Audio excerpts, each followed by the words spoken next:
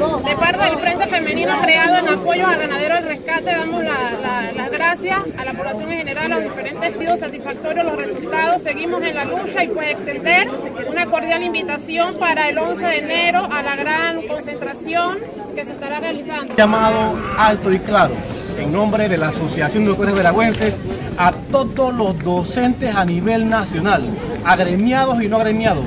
Juntos podemos lograr la reivindicación tan esperada del sector de producción.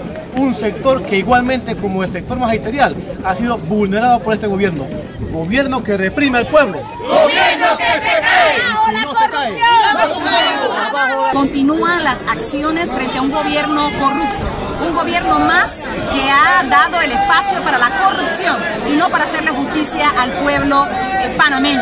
Vemos cómo no solamente hay en el sector docente, sino también en el sector agropecuario. Aquí se están beneficiando unas cuantas personas, unas cuantas familias. El negocio tras las importaciones, el negocio tras todos los fondos que se manejan en educación, incluso la, el clientelismo político a través del tema del concurso, con toda irregularidad. Hacemos un llamado a una lucha de unidad nacional, una agenda nacional, luchar por la educación, luchar por la salud, luchar por la seguridad alimentaria y por supuesto la defensa de la democracia y la institucionalidad. Hoy eh, se escribe otro capítulo en la lucha del sector productivo del país.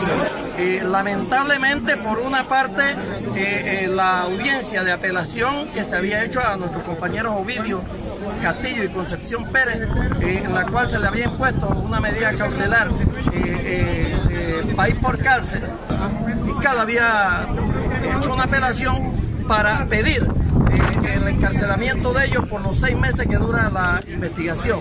Gracias a Dios no se atrevieron a dejarlo encarcelado, pero lamentablemente el proceso sigue.